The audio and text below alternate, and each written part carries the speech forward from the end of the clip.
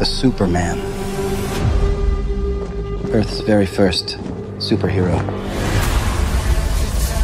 That might have been true once upon a time. Once.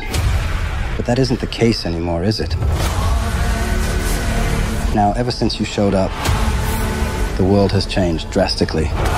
The more metahumans, the bigger the chance. Chance of what?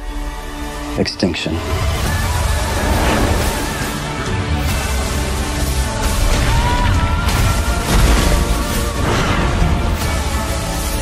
Kryptonians, Thanagarians, all of them.